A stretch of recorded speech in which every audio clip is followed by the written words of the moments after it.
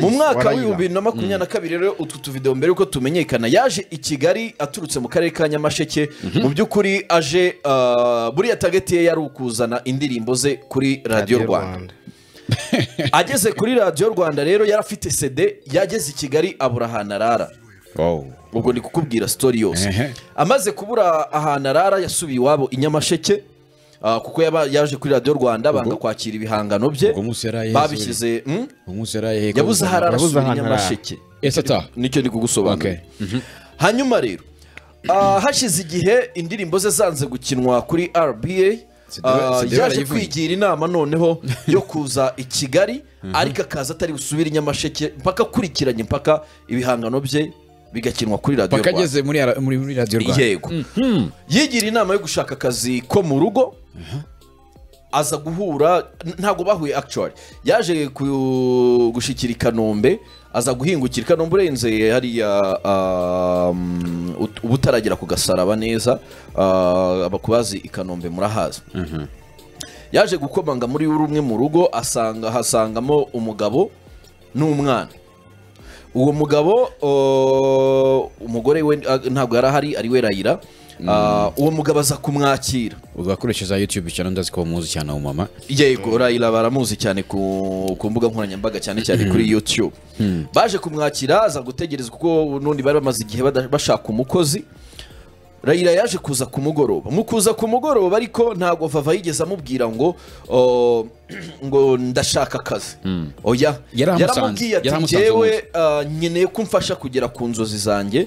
Ati kuko naje i kigali iki gihe iki n'iki Eh. ntibyankundira ubwa kabiri nza kuza ariko niyo mwaba mumpaye akazi imirimo yo mu rugo nzi kuyikora. Kugira ngo icyo nkora tu. Yego. Ah, byaje guhurirana n'uko rayira nawe yari akeneye umukozi. Aravuga ati wavuga kuko na nyuma y'iminsi itari- n'ibyumweru bibiri. Nyuma y'ibyumweru bibiri rayira yaje gushaka undi mukozi. Rayira yaje kumwakira ah, ababana nk'umukozi wo mu rugo. Akajya amufasha umwana ndetse n'imirimo Yo mu rugo. oh, rugo. Yaje kumufasha ah, basubira kuri rba basubiye kuri rba batwaye sede iriho za ndirimbo za dore imbogo cyangwa se za vava. Ah, ku nshuro bwari inshuro ya gatatu. Inshuro gatatu agiye. Yego. Bazi- bazijyanyeyo babaheza kuri reception nk'uko bagiye babisobanura mu biganiro bigiye bitandukanye. Cyangwa se ya- nanjye niko mu kiganiro twigeze kugirana ah, ubwo nari hano muri the choice n'ubundi ah, niko bansobanuriye. Mu kubaheza aho ngaho byarangiye barambiwe barataha. Aramubwira ati kuri radiyo rwanda inshuro zose tugerageje biranze ariko noneho hari ubundi buryo nshobora kuza kugufashamo uh, indirimbo zawe cyangwa se wowe bwawe ukaba abanyarwanda bakumenya yaje kumusabira umwe mu bagore uh, bafite ama youtube channel hano mu rwanda witwa uh, Rose, afite youtube channel yitwa Rose TV show. Tv show. Eh, ikorera kuri youtube mura abenshi murayizi. Mu kumwapurocinga yaramubwiye ati ok nta kibazo uzamuzane ariko inkuru yacu izabe yibanda cyane ku buzima bwe. Ah, buri perisoneri umwana wo mu cyaro n'iki n'iki uko ya- ya- yaje gu- gukora umuziki n'ibiki byose ubwo nuko nyine yaje kuza yari yo i Kigali. konti itamuhaye yego. baje kwigira inama ah, ndetse n'igitekerezo mu by'ukuri cyaziye kuza aho ngaho mu kiganiro. Aza gukomoza yuko bampora iki? Ari bene wabo. Naho byatangiye ndetse no kuri tayito y'icyo kiganiro hari handitseho mushiki wa bamporiki yashyizeho ikiganiro muri icyo kiganiro amusaba kapera araririmba niko ka kavidewo abantu bose babonye gatrending ati dore imbogo dore dore imvubu imbogo dore imvubu n'iki byose. Uwitwa mbabazi gerard yaje kubona icyo kiganiro kuko nawe akora inkuru uh, ahanini zijyanye urabona uh, wahinduriwe ubuzima cyangwa se ufite ibyo busanzwe cyangwa se ubuzima yanyuzemo. Akenshi yibanda ku buzima yanyuzemo cyane ko cano ni- ni- inkuru yanjye. Y'inkuru ze ari inkuru yanjye. Yaje kubona uh, ikiganiro kwa hose amwaka contact amusaba yuko yamukoresha. Bivuze iki? Dore imbogo yaje ashaka kujya kuri radiyo rwanda ntibyamukundira ariko umwe mu bakozi ba rba icyo gihe ah, yaje kumwihamagarira noneho. Okay amubwira yuko nyuma ya bakorana mvune zose yanyuzemo na rwa rugendo rwose. bigaruka bakamuheza kuri reception Yego. sede ntibazakire n'ubyagize inyuma ibyo byose byaje kurangira uwitwa uh, gerard amwihamagariye amusaba ko bakorana ikiganiro. Baje gukorana ikiganiro mu by'ukuri noneho bitsa ku kantu ko kuvuga ko ari mushiki wa bamporiki ndetse ko yavuye mu cyaro ngo turamuzanye. aje kureba bamporiki ngira ngo na orientation y'ibiganiro byose byose byose byanakurikiyeho nyuma yabyo. Niho oh, niho byabaga bishingiye. ati turamuzanye. ndetse natwe ndabyuka ibyo twakoze muri na makumyabiri na kabiri twandikaga ati mushiki wa bamporiki tumugezeho. Tumugezeho cyangwa se turamuzanye bitewe na tayito y'uwo munsi. Ah, baje gukorana ikiganiro noneho cyo kibustinga kurusha icyo yari yakoze Mbere. kwa aha. noneho n'abandi banya ni na yo mpamvu na mu kanya ni, ni, ni wowe jya- niba atari poni tuvuze ngo yamenyekanye kwa mbabazi gerard. Niho navuze nawe namumenyeye. Aha kiriya kiganiro ni cyo cyabustinze kurusha icyo cyo yakoze. kwa mbere. Rose TV Yego. cyari icya kabiri kiriya. Kiriya cyari icya kabiri yari Okay. amaze gukora. Ndetse eh, kiranarebwa cyane cyane cyane cyane. Ahantu byashyushye cyangwa se eh, ibiri gutrendinga aba youtubers eh, bahita bahatera amatako. content ibonetse. Ngira ngo ndi mu bantu ba mbere nanjye uh, watse ikiganiro. Ariko bagiye gukora kiriya kiganiro cya kabiri cyo kwa gerard ibintu byahise bihinduka. Mu guhinduka uwitwa rayira yatangiye kwakira nimero uwitwa vava yatangiye kwakira nimero nyinshi zimuhamagara kuko yazishyiragamo nimero za telefone nyine nk'umuntu utazi ngo ibintu bizarebwa cyangwa se boosting ngereho abantu bashobora kumuhamagara bakaba benshi. Umwana w'inyamasheke nta nubwo yibwiraga ko ashobora kuvuga ngo hari abantu batatu cyangwa batanu bashobora kumamagara ibyo ngibyo byabaga ari nk'inzozi kuri we kandi yari aje i kigali n'ubundi ari cyo kintu kimuzanye. mu muziki aje gukora yego. umuziki Mm. abantu baje kuba benshi uwitwa rayira ahita amubwira ko noneho ibyo akazi ko mu rugo baba bishyize ku ruhande bagashaka undi mukozi niyo mpamvu nakubwiye Ehe. ibintu byasabye ibyumweru bibiri hanyuma bo bagashyira imbaraga muri ibyo byari birimo ubwo ni Biratrending. ni bya biganiro Social n'iki media. byose Yego. gutwika muri ati social noneho media. ndabona wa muntu yavamo ikintu kidasanzwe Yego. yaje ari umukozi ariko ndabona atangiye kuvamo ikintu kintu kidasanzwe Niba- niba Aha. telefone kandi yakiraga na telefone zimushaka yakiraga zimushaka ari z'abantu nyinshi bavuga umwana wo mu cyaro Aha. abadiyasipora Aha. batangira guhamagara Yeah. ese umwana twamufasha gute Okay. ibiki n'ibiki urumva uh, vava we nta nubwo yari afite uburyo ki bwo bwo kuvugana nabo uh, nta Raila whatsapp yahise yagiraga ahinduka manager. nta ki rayira yaje kuhita Official ahinduka manager. official Ubwo yari manager manager we. wa Doni Ha. Hanyuma yaho baje gukomeza ibiganiro kuko nanjye ndabyibuka ndi hano muri uh, mu isibo ubwo nakoraga mu kiganiro the choice live ndi mu bantu nanjye bamugezeho mbere. Muhamagara kuri uwo munsi naramuhamagaye vava kuri telefone ye arambwira ngo ntago ari we wifatira icyemezo ubu ngubu Eh, Uri kubyumva kuko nda- ndabyi- icyo uh, gihe amaze no kubona telefone. Agatelefone yari agafite. Kari gato Yari yakiwe. agafite. Eh, k'amatusha ati ariko ntabwo naza ati ntabwo ari njyewe yatereka nguhe nimero za manager. Nawe icyo gihe nanasetse cyane. Ndavuga niko se. Umuntu azajya za atrendinge kabiri kuko ntabwo nari nzi iyo situwasiyo yose. Atrendinge rimwe kabiri ahita avuga ati ngize bimeze. Yambaye nimero za rayira ah, amuzana rayira rayira ndamuhamagara. Mu kumuhamagara arambwira icyo gihe babonye ko ibintu bimaze kuba seriye ahita ambwira ngo bashyizeho igiciro cy'amafaranga. Ati ariko ku- ku iyo rero bigusobanura ukabyumva akavuga ati uyu ni umwana mfasha ah, nko mu ariko rugo." birumvikana ntabwo. eh, nta- zindi nyungu yabikuragamo ibyo nta zindi nyungu. kuko mwebwe nimushyiraho ibiganiro kuko twebwe ibiganiro dushyira kuri youtube turacuruza birabungukiramo. Ariko byibuze niyo wamuha n'agafaranga gake akagura amavuta akabona ko inzozi ze ari kuzigeraho yaje aje gu- gushaka abanyamakuru ariko noneho nibo bari kumushaka. Noneho byibuze abone n'utwo tufaranga dukeya ah, tuze kugira icyo twamufasha niyo yaguramo amavuta cyangwa se utundi tuntu. Tukavuga ati kuko nkanjye ubu ngubu yaje ari umukozi wo mu rugo ariko sindi kumuhemba kuko ntabwo ari kunkorera. Rero muramutse mubaye mwamuha nko ku dufaranga dukeya byamufasha mu gusunika ubuzima. Nibyo koko nabibwiye abo twakoranaga icyo gihe ah, amafaranga barayampa. Nanjye ndayabaha icyo gihe dupanga. Twapanze ambwira ati kerema ni wowe muntu wa mbere mu gitondo uri bumukoreshe ntugire ikibazo. Ati wowe uhagere saa moya za mu gitondo. Saa moya Ubwo narabyubahirije wasanze muri rugo cyangwa mwahuriye ahantu n'abasanze mu rugo hoteli? i kanombe icyo gihe byari byamaze gucamo.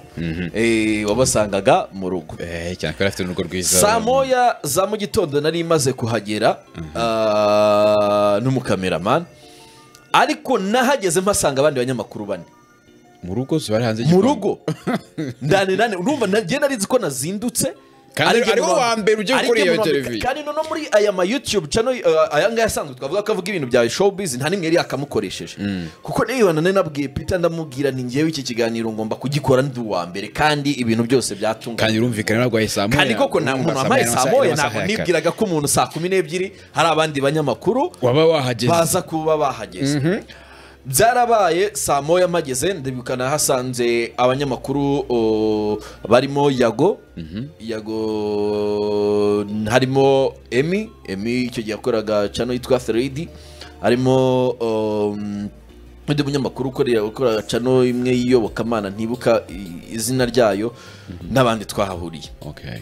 Icyakora cy'icyo gihe koko twarabambereye imfura ah, aba ari wowe ubanza wa- wasanze Oya, batangiye se barabaganira yago yari ameze neza kameme nta nubwo twaduhuje. Eh, icyo gihe nti nari bibanza ukore ikiganiro and then ndakora nyuma yawe. Kuko n'ubundi nari mbizi igihe bari bwa porodingire ngewe na- na- nari nazanye ibikoresho byose navuye muri urwo ku buryo rugo, wavuye mu n'inkuru byose birangiye. Eh, kuko iyo Wa- wagiye kuri tera ugasanga abakompetita ntabwo ushobora ku- kuzuyaza Ah, mutarahura akakwima nawe ucomeka afite na ronje Eh, yego vava twakoze ikiganiro birarangira ndetse icyo kiganiro kiza no kurebwa nyuma tuza no gukomeza gukorana ibindi biganiro bigiye bitandukanye sinzibagirwa ikiganiro twigeze gukorera hano muri Yego. ah, namutumiranye n'uwitwa super manager Ah, icyo gihe cyagize na views nyinshi cyane kiri mu mu bimwe biganiro nakoze muri kariyeri yanjye bikanshimisha. Cyane kabisa.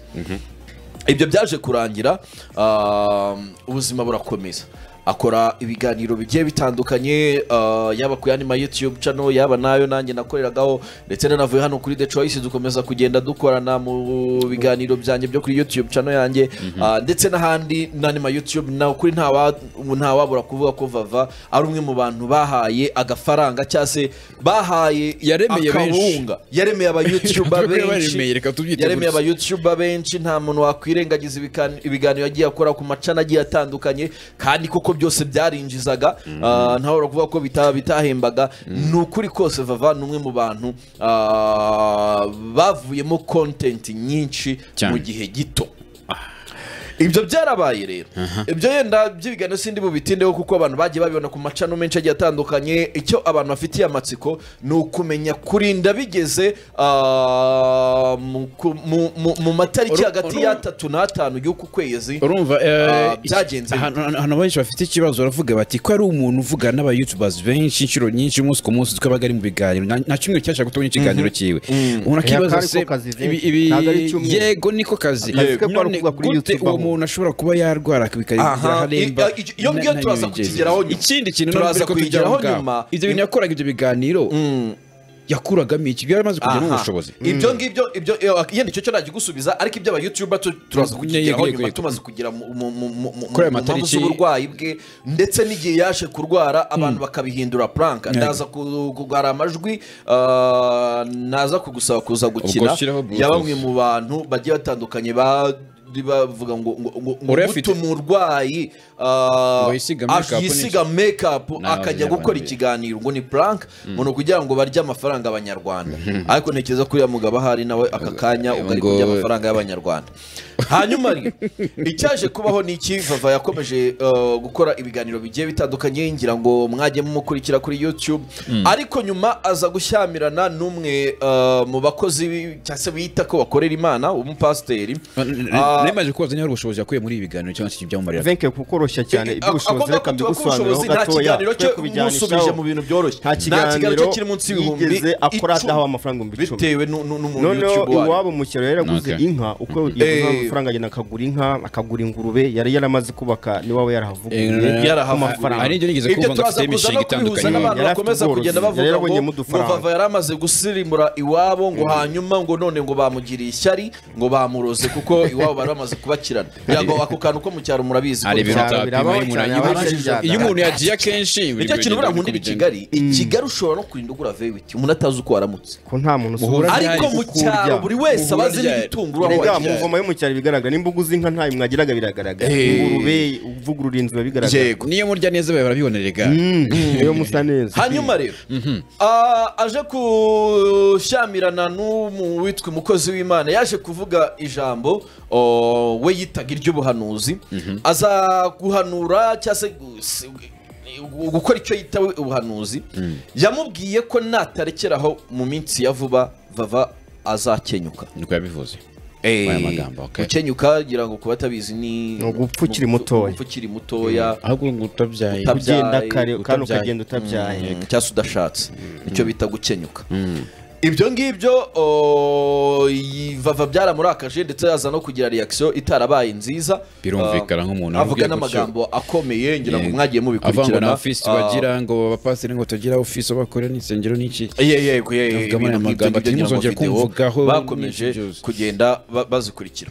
Mu ntangiriro z'u- z'uku kwezi ah, ariko mu- mpera z'ukwezi gushize kwa gatandatu hari ikiganiro cyigeze gucaho ah, kuri youtube channel ya x large.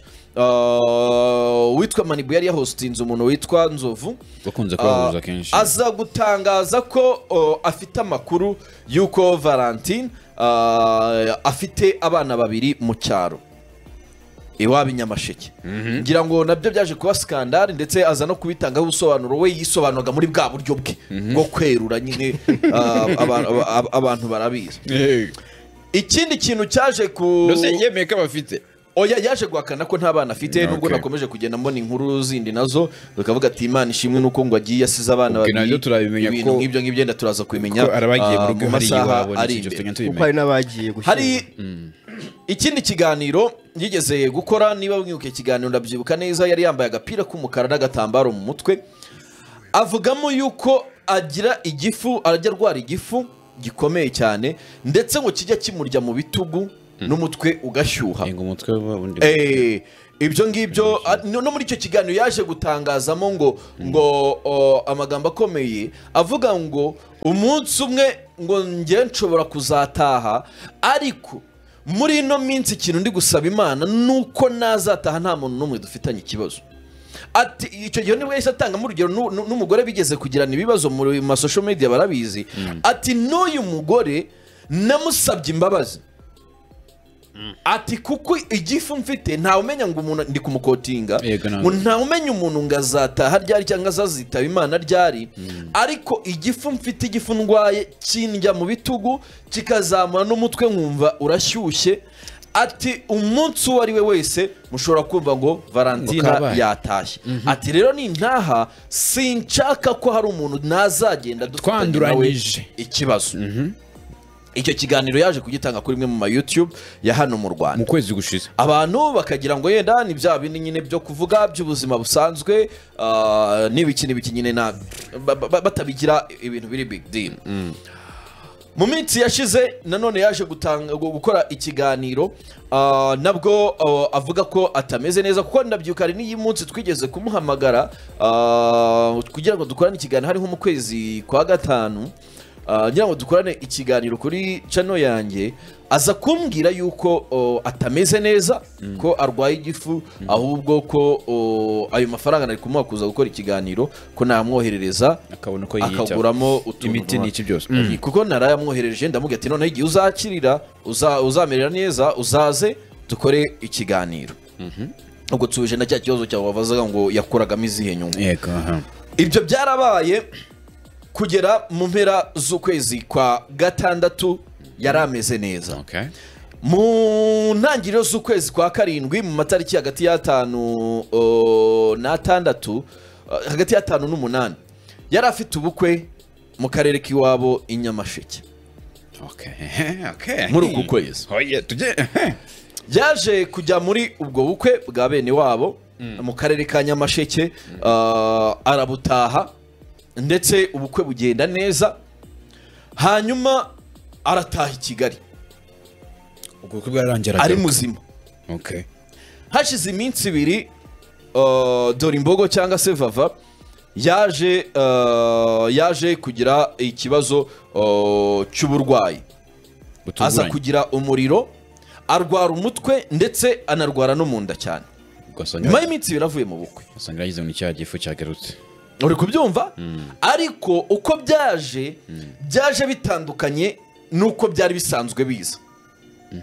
Kuko yarababaraga akagira uh, n'amakuru nabonye uh, niherewe n'umuntu witwa Layira babanaga. Yambwiye ko uh, yambwiye ko yagiraga ikibazo cy'igifu cyamufataga bikamera nk- nk- nk'amashanyarazi amufata aho cyamufatiraga yicaragaho igifu gikomeye cyane. Ariko bwo kuri iyi nshuro byaje bitandukanye. Cya gifu kiramufata ah, Yara- mu- umutwe uramurya yarakiba ko arayira mu nda oya Oya. kuko arayire havuye kera nta nubwo yigeze amara n'amezi bigeze abiri kugira ibibazo kuko arahava. bi- yego bigeze kugirana Bajyanye ibibazo ibibazo arahava. oh, bigeze kugirana ibibazo oh, ndetse ah, baza no gushwana. Ah, ubwo ubwo nari nirinze kujya mu tudetayi twinshi twaba Oya, bakurikiye nuko- nuko- ariko wenda nuko- nuko mbasobanuriye waruvuze- ukuntu yavuye kwa rayira kuko nabivuzeho impamvu rero mbikubajije ni uko Eh, waruvuze ngo reka umuntu wa- nsubire wari- inyuma. wabaga Kwa hafi Raila ye barakoranye. Yego. Noneho mu gukorana urabizi iyo abantu badafite ikintu na kimwe baba inshuti. Sibyo? Dufite ikintu kimwe bapfa. Eh, badafite amafaranga ikintu na kimwe amafaranga iyo bapfa. ataraza abantu. Eh, barumvikana. abantu bari inshuti. Noneho o, mu kuza kuba inshuti haje kuzamo agafaranga. Abadiyasipora bakwereza amafaranga. Bakavuga bati ntabwo ari we ufite watsapu urumva bahamagaraga? Abantu baje kujya mu matwi vava bamubwira ko abadiyasipora bohereza amafaranga menshi ndetse ko yakagombye kuba yujuje inzu iwabo i nyamasheke. Uri kubyumva? Noneho ibyo byaje kuba noneho um, ubwo nyamukobwa nyine yahise wumva ibitekerezo byahise bihinduka Ibitekerezo byahise bihinduka, bahise tujya bamwindura mu ntekerezo ati y'amafaranga kumbe wohereza yose kandi niyo uyafata cyatumye cyatumye uh, bihinduka. Na vava we ku, ruhande rwe nawe rwe hari amafaranga yakiraga. Akavuga ati se niba abantu b'i kigali bashobora kunyohereza ibihumbi icumi makumyabiri mirongo itatu. Ko ibaze nko kuri uwo munsi twe twakozeho ikiganiro niyo twari abanyamakuru bane. Saa moya za mu gitondo. ngo ntitubaze abaje nimugoroba. Reka tuvuge mirongo ine yabonye muri icyo gitondo cya icyo mbere. Gihe baduce cumi na bitanu. Icyo gihe byari bigikomeye. Byari cumi na bitanu. Ngaho bari ayo mafaranga. Ay, ay, ay. akavuga ati niba abantu b'i kigali bashobora kunyohereza amafaranga angana gutya. Ba bantu bambwira ngo mabujana rya amafaranga bafite ukuri. uri kubyumva? Arangije ara- yi- ah, bamugira inama akamubwira ati rero nyokobuja kurya amafaranga. Nibwo mu maguru mashya yahise agura telefone ya kuri akimara kuyigura ukuntu yari azi ubwenge yanze kuva hahanda icyo gihe. Eh, arabanza ahubwo. Mm. akomeza mu biganiro avuga ko noneho ubu ngubu ari kuri whatsapp. Eh, ati none ntibuzongere kwandikira wa muntu. uje munyihamagara ndahari. Bamaze kumuhamagara rero bakomeza kugenda bamwohereza amafaranga ahita abona ukuri. Koko ati wa mumama yandikaga Ya- ya- amafaranga. mhm. byaba ari byo byaba atari byo wenda twe ntabwo tubizi ariko ni byo bakomeje kugenda bavuga mu mbuga ah, twagira nkoranyambaga ngo tubigere ko nyine kugira ngo bamenye ba- banapfuye Eh, cyangwa se ngo ave aho ngaho yaje kuhava rero ajya kuba ajya kwibana mu nzu yari iri hano ku cya mitsingi Uh, niba mubona hano ku cya mitsingi hano yitwa hoteli ni giriti apatimenti ni ni giriti apatimenti ariko. Ni pati Eh, niyo. opposite yaho hari ahantu hari igipangu gifite korutire nini cyane uh, y'amatafari ahiye.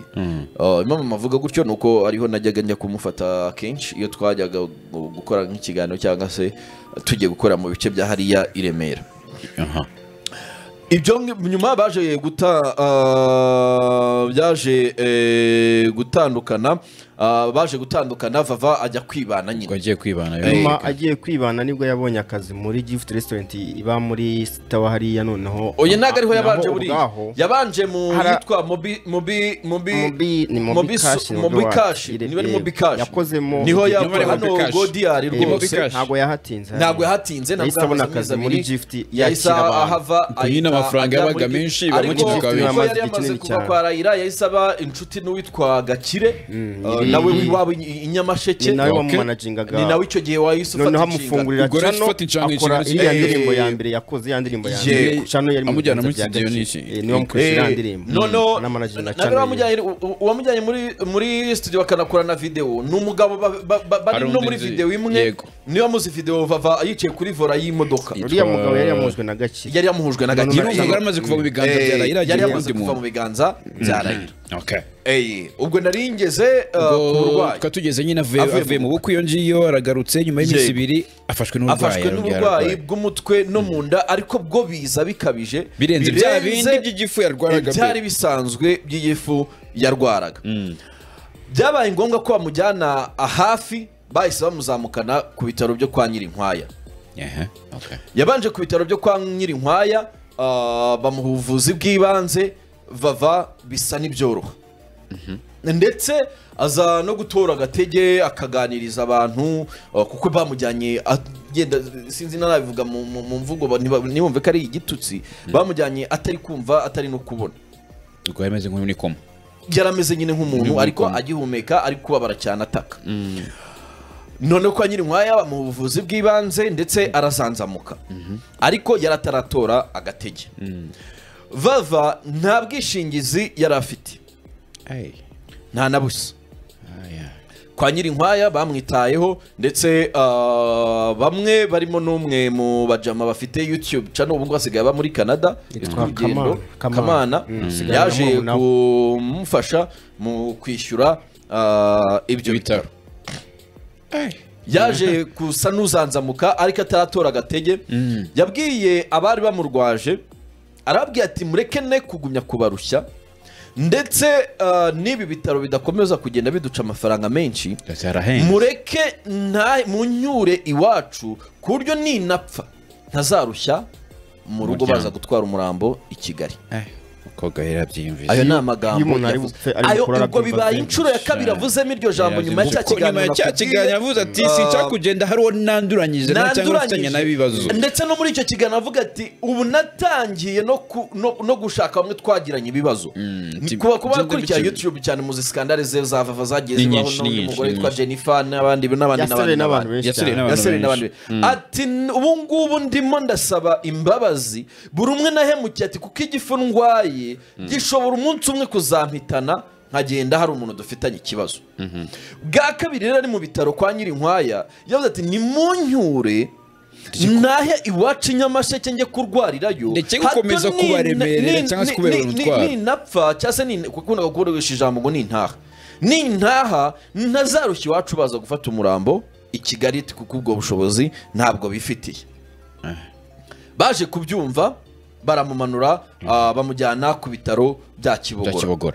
Iwabo mu karere ka nyamasheke. Muri ibyo bitaro baramuvuye bamusuzumye ariko kwa nyine nkwaya bamufashaga batarabona indwara.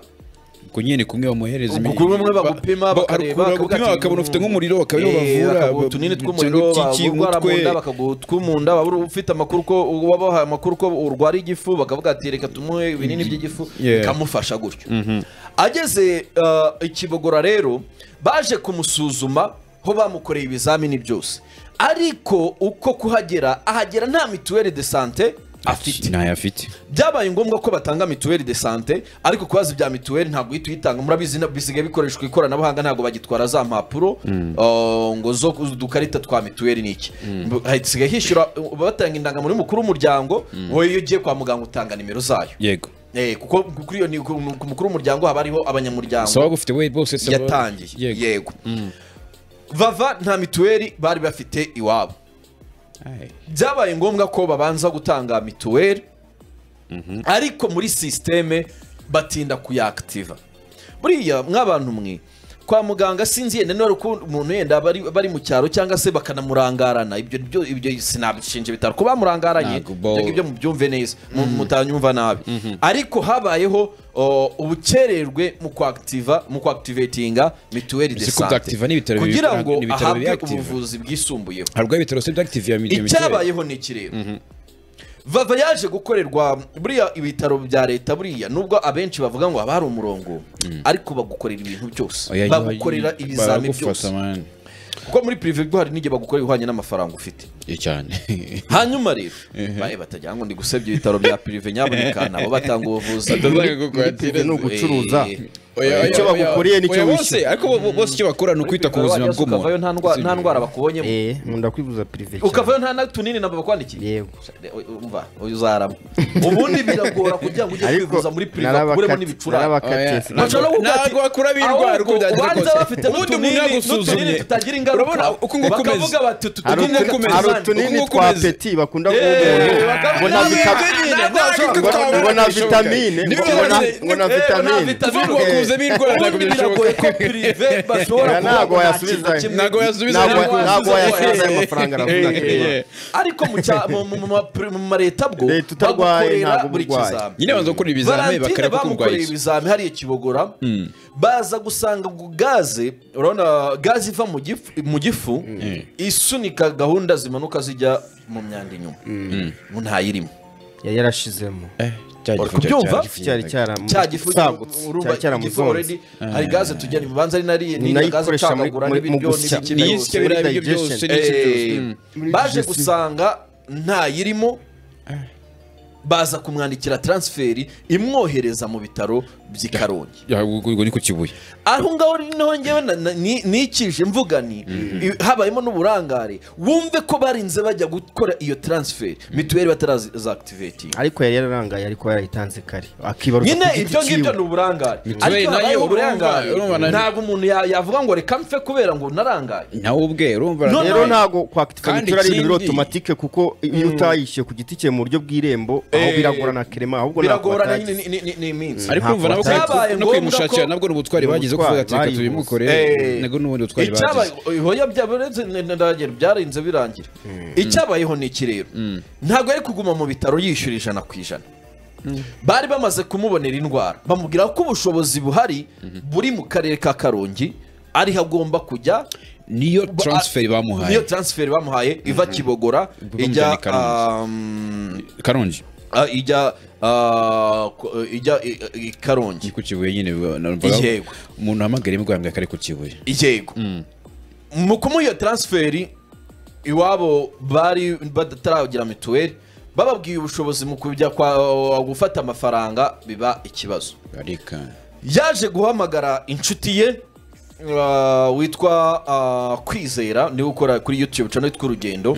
Aramubwira ati ngwino hano iwacu i nyamasheke dukorane ikiganiro. Mfite abantu benshi bankunda batanazi ko ndwaye bashobora kumfasha kuko bampaye transfer ijya i karongi bashobora kuba bamfasha nkaba nagira ne nkaba najya kwivuza mu bitaro by'i karongi. Okay kwizera yaramanutse n'umukameraman amanukana n'umuhungu bita emu waki bavugaga ko bari bari mu rukundo Dr. M. Dr. Yitwa M. Dr. M. Eh.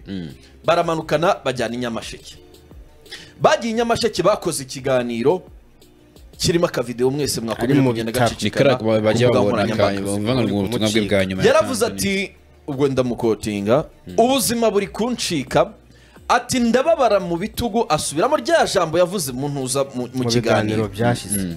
Ati ndababara mu bitugu kandi no mu mutwe ndashyuha. Ati n'aka gatambaro mubona nambaye ati ubu ngubu nuko bisa n'ibyatuje. Ati mu kanya bira- bishobora kuba byahindutse. Nanone yongera gusubiramo asaba imbabazi abantu bose bafitanye ibibazo ababwira yuko uwo bagiranye ikibazo wese yamubabarira kubera yuko yumva ubuzima buri kugenda bumucika. Umucika ati kandi nindamuka nkize nzababwiza ukuri ku cyateye uburwayi bwanjye. Ariko nintanakira kandi muzaze kumperekeza neza cyane. Ubwo ni bwo butumwa bwa nyuma yatanze icyo gihe Eh, muri bamusanga aho mu ubutumwa kiganiro icyo gihe mwibuke icyo gihe yararyamanye ari ku buriri transfer. ari mu ku buriri. Icyo kiganiro kimaze gusohoka. Mu by'ukuri abantu bose abenshi barakibonye batangira kugenda bagira impuhwe bari n'abohereje hari n'umubyeyi yashimiyemo muri icyo kiganiro witwa mama mama mama fiyete mama claire something. Amushimira ko na- na- o, yamufashije. Ariko kandi hari abandi ba youtuber barimo video yacicikanye ku mbuga nkoranyambaga umwe mu bagabo yagiye kuri youtube avuga ko iyo ari imitwe ya valentine ngo yapanze n'uwitwa dr m kugira ngo barye amafaranga abanyarwanda hanyuma bajye kubana cyane ko urumva n'ubwo nawe ibyo yagendeyeho ntabwo bigeze abimenya ko vava nyine arwaye. Ko benshi ntabwo bigeze babimenya bamwe na bamwe. Yego. Naravuga ati niko tutigeze tubimenya igihe yamanukiye. Noneho muri iyo videwo abavuga ngo nta murwayi wisiga mekapu ngo uhamagare itangazamakuru ngo baze mu bitaro ngo ngo ngo gukamera uko arwaye. Ndabona arumbwiye ngo ni mama bebe ngo yashimye bati biriya bintu ni ubukunguzi n'ibiki n'ibiki avuga amagambo menshi atari meza. Nyamara m- m- nyirizina impamvu y'icyo kiganiro. Kwari ukugira ngo inshuti ze zimufashe mu gihe mituweli uko abe yabona ubushobozi bumwerekeza i karongi. Uretse n'icyo ngicyo abone n'amafaranga yo kugura imbuto aba yenda amutunze mu gihe ategereje ko iyo mituweli ye ah, bayakitivetinga Aha. ibyo byarabaye. Bimaze kuba ah, baje icyo kiganiro kimaze kuba n'uwo mugabo amaze gukora ibyo ngibyo abantu bagiye batandukanye baje guhuza bya bintu urumva mugani twinjiriwe n'abatubuzi benshi. Hari uza kuri youtube muribuka ba- hari abahekaga abana bakatakati badutanya abana hari abavugaga ati ba twarwaye umutima. Hari abavugaga biki n'ibiki nyamara ugasanga ngira ngo hari uwo bigeze gufasha buracyayiguramo akamodoka Eh, aranimuka Hari undi se noneho bamubajije ati se kuki amafaranga wa- wayimutse bateye koze mwanya baze gusura umurwayi? Ndi ahantu habi. Hari n'undi wa sinema mu minsi yashize nawe ngo bahaye ngo kwivuza n'iki nawe ngo Eh, uri- kubyumva. Mu by'ukuri biragoye ko ubu ngubu umuntu yamenya uvuga ukuri n'uvuga ibintu. Ehe. haje icyo kiganiro. Haje icyo kiganiro ni bwo n'uwo mugabo yabi- yakonfyuzinze abantu arangije abantu batangira gushidikanya. Batari ko wa cyane ko kumenya ukuri uvuga ukuri n'indi biragoye. Eh, ko wasanga ari puranka nka za zindi birirwamo. Atuvuga ukuri n'indi hagati y'uyu mugabo ndetse na na na na na n'uwo Na- mu- n'uw'ikiganiro cyane cyo ko bava kumubona icyo gihe byari binagoye. Yari ari mu cyaro. Yari arwariye mu cyaro. Uri kubyumva?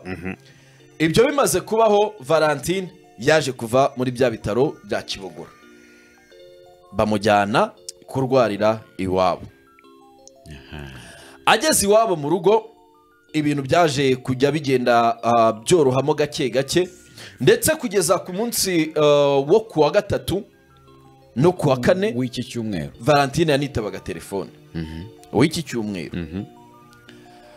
Yakomeje kuba aho ngaho ariko o, bigeze ku wa gatandatu mu masaha y'umugoroba mu masaha ya mu gitondo o, valentina ibintu birahinduka.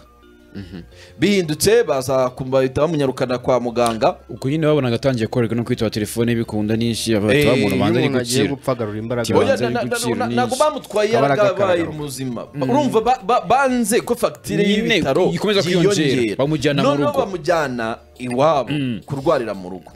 Bamujyanye kurwarira mu rugo ah, ejo mu- ku wa gatandatu mu gitondo ni bwo byahindutse rero. Arahinda umushyitsi umutwe uramurya cyane arataka mu nda n'iki. Bamuzana kwa muganga.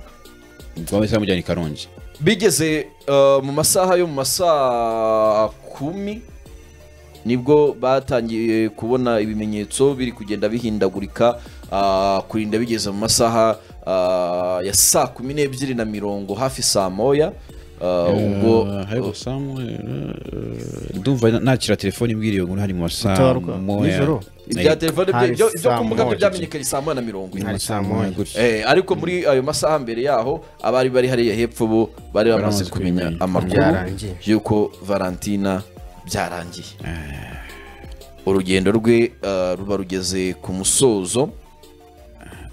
Uh, ruba rugeze ubwo- uh, uh, ku musozo gutyo Bo, mbe- mbere ko tujya kuri komantere n'iki n'ibyo twagiye tubivugaho reka banze dukorere amafaranga make cyane. Ayo dufite ahangaha atari na make. Ahangaha tu- nyuma yo kubabwira ku Turabwire baterankunga ubundi turaje tube bimeze tubabwira bite, nyuma yaho se n'iki, byagenze bite? harakurikiraho Ese, iki, bimeze i- i- bite? aba youtube yahaye views byagenze bite?